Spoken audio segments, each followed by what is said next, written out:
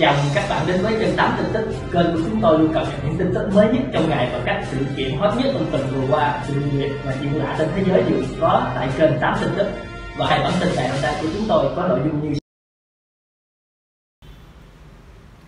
Ừ, xin chào cả nhà, chào quý ông bà và các bạn đã đến với kênh 8 tin tức. Bản tin ngày hôm nay là một câu chuyện cảnh giác. Cụ thể hôm nay á, các bạn có nghe qua cái câu chuyện là có ba người á bị ngã xuống đường nước ngập á rồi bị điện giật khiến một người tử vong không? Hôm nay sẽ có nội dung là ngã xuống đường ngập nước, ba người nghi bị điện giật thương vong.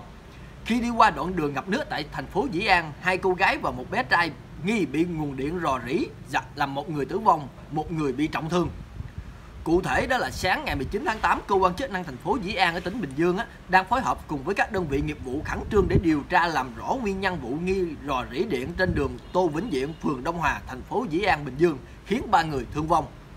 Thông tin ban đầu khoảng 22 giờ đêm 18 tháng 8, chị Hồ Thị Sương Đê 19 tuổi ngụ thành phố Hồ Chí Minh cùng bạn và một bé trai khoảng 2 tuổi đi xe máy trên đường Tô Vĩnh Diện khi đến trước hẻm 129 thì bị ngã xe tại đây.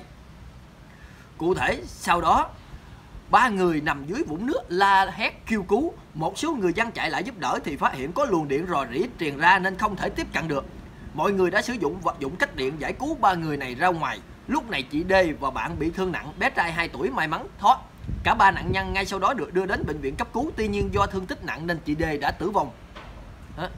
nhận được thông tin, lực lượng chức năng đã đến phong tỏa hiện trường, nhân viên điện lực cũng có mặt tại hiện trường để cấp điện. Theo ghi nhận, vị trí xảy ra sự cố, mặt đường bị ngập sâu. Kế bên có một cây cục điện, cơ quan chức năng đang tiếp tục điều tra để làm rõ.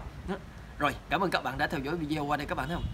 Dạo này thì mưa lớn mà mưa cái là ngập, mẫu biết tiền tỷ đổ về cứ chống gặp chống úng mà không biết đổ đi đâu. Các bạn thấy không? Cứ hả mỗi lần mưa là ngập năm nào cũng thấy là chống ngập thì làm đê điều, bao lũ gì mà cuối cùng cũng ngập. Và đề nghị cơ quan chức năng á, hãy rà soát hết tất cả các thông tin cũng như các cây cục điện á, xem ờ, chỗ nào có nối mát, nối đất tiếp đất an toàn hay không. Là có vỏ trách hay không. Chứ bây giờ điện mà gặp nước thì chẳng khác hầu nào hổ mọc thêm cánh. Nó mạnh tới cỡ nào các bạn? Đúng không? Chắc chắn các bạn biết. Mà lan truyền thì hết sức nhanh. Như vậy hết sức nguy hiểm người dân chúng ta mà chạy trên đường giống như cá vậy đó các bạn bơi trong nước mà bị xịt vậy thì thôi thứ nào mà sống nổi. Vì vậy các bạn hãy chia sẻ video này rộng rãi để cho mọi người cùng biết đến và mong cơ quan chức năng điện lực hãy rà soát hết tất cả các đoạn đường á, mà hay gặp lục á, mà không phải đoạn đường nào ngập lúng à, ờ, hầu như đoạn đường nào chúng ta cũng cần nên rà soát lại như vậy sẽ tốt hơn. Đúng không các bạn? Nếu đúng thì cho một like và một chia sẻ để cho mọi người cùng xem. Cảm ơn các bạn.